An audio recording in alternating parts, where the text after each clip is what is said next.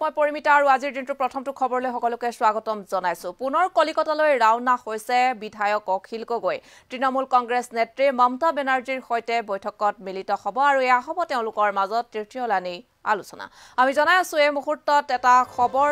পুনৰ কলকাতালৈ বিধায়ক অখিল গগৈ। শিৱসাগৰ সমষ্টিৰ বিধায়কগৰাকী ইয়াৰ পূৰ্বে দুবাৰকৈ তৃণমূল কংগ্ৰেছ নেত্ৰী মমতা বেনাৰ্জীৰ সৈতে সাক্ষাৎ কৰিছিল আৰু এয়া হ'ব তেওঁলোকৰ তৃতীয়লানি বৈঠক। আৰু ইয়াৰ পূৰ্বে বিধায়কগৰাকীয়ে দুবাৰকৈ সাক্ষাৎ কৰিছিল। ইতিমধ্যে তৃণমূলত অখিল গগৈয়ে সম্ভাৱ্য যোগদানক লৈ ৰাজ্যজুৰি চৰ্চা লাভ কৰিছে। আৰু আমি মাত্ৰ দুটা দিন পূৰ্বে এটা খবৰ সম্প্ৰচাৰ কৰিছিলোঁ য'ত বিধায়কগৰাকীয়ে এটা মন্তব্য কৰিছিল যে গুৰুত্বপূৰ্ণ মন্তব্য কৰিছিল যে তেওঁক মমতা বেনাৰ্জীয়ে বাৰম্বাৰ পশ্চিমবংগলৈ আমন্ত্ৰণ কৰিছে বুলি অখিল গগৈক আৰু তাৰ পাছত অসমত তৃণমূল কংগ্ৰেছৰ শাখা খুলি সভাপতি অখিল গগৈ হ'ব লাগে বুলি তেওঁলৈ প্ৰস্তাৱ আহিছিল।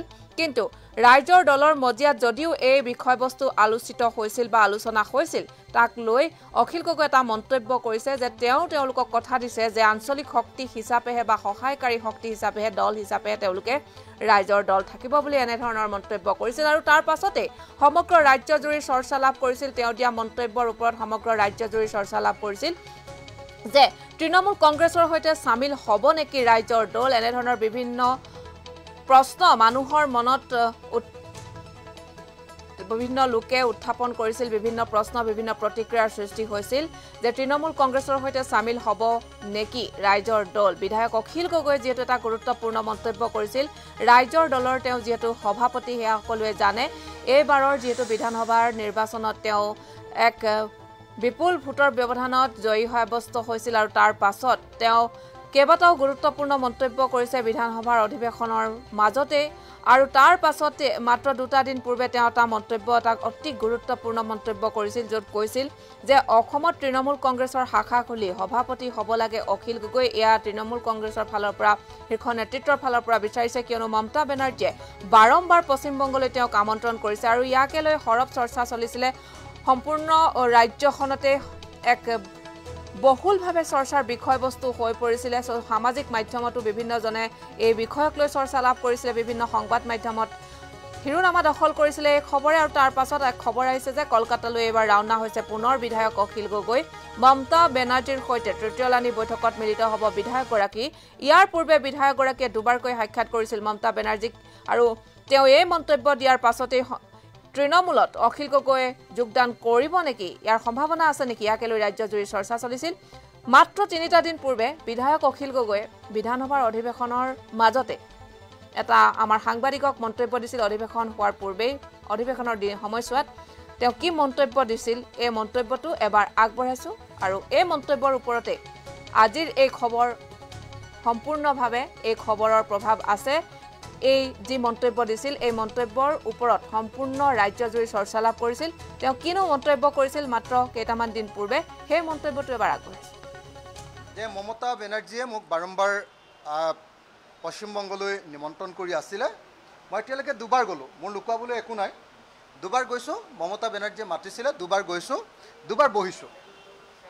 তেখেতসকলে মোক প্ৰস্তাৱ দিছে যে অসমত তৃণমূল কংগ্ৰেছৰ ব্ৰাঞ্চটো শাখাটো খুলিব লাগে ৰাজ্যিক কমিটি খুলিব লাগে আৰু মই তাৰ সভাপতি হ'ব লাগে। এই সম্পৰ্কে আমাৰ দলৰ মজিয়াত আলোচনা হৈছে কিন্তু এই সম্পৰ্কে আমাৰ কোনো সিদ্ধান্ত হোৱা নাই। আমি ৰাইজৰ দল আপোনালোকে সকলোৱে জানে এটা গণতান্ত্ৰিক প্ৰগতিশীল জাতীয়তাবাদী আঞ্চলিক দল। গতিকে আঞ্চলিক শক্তি হিচাপে আমি সদায় অন্যান্য আঞ্চলিক দলবিলাকৰ লগত কোঅৰ্ডিনেশ্যন কৰিব খোজোঁ।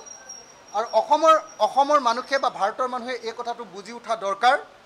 যে ইমাৰ্জেঞ্চিৰ পাছত ঊনৈছশ পঁয়সত্তৰ চনৰ এমাৰ্জেঞ্চিৰ পাছত যেনেকৈ সকলো আঞ্চলিক শক্তিবিলাক ঐক্যবদ্ধ হোৱা আৰম্ভ হৈছিলে এইবাৰ বিজেপি আৰ এছ এছৰ অঘোষিত ইমাৰ্জেঞ্চিৰ পাছতো ভাৰতবৰ্ষত সকলোবিলাক আঞ্চলিক ৰাজনৈতিক শক্তি ঐক্যবদ্ধ হ'বলৈ গৈ আছে।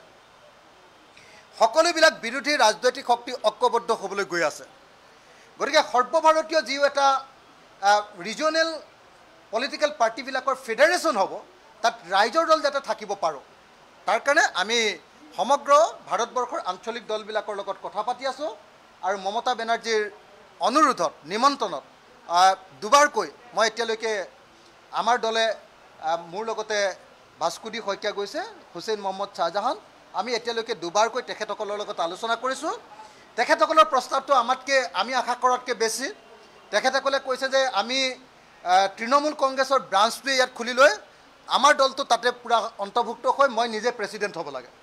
কিন্তু আমাৰ প্ৰস্তাৱটো তেখেতসকলৰ ওচৰত হ'ল যে নহয় আমি আঞ্চলিক শক্তি হিচাপে জাতীয়তাবাদী শক্তি হিচাপে ইয়াত থাকিব খোজোঁ স্বতন্ত্ৰভাৱে আৰু আমি সকলো ভাৰতবৰ্ষৰ আঞ্চলিক শক্তিৰ লগত এটা কোঅৰ্ডিনেশ্যন কৰিব খোজোঁ। গতিকে এই দুইটা কথা আলোচনা চলি আছে লোক ঢাক কৰিবলৈ একো নাই। মই কথাকেইটা সেইকাৰণে আপোনালোকক মুকলিমূৰীয়াকৈ ক'লোঁ। যে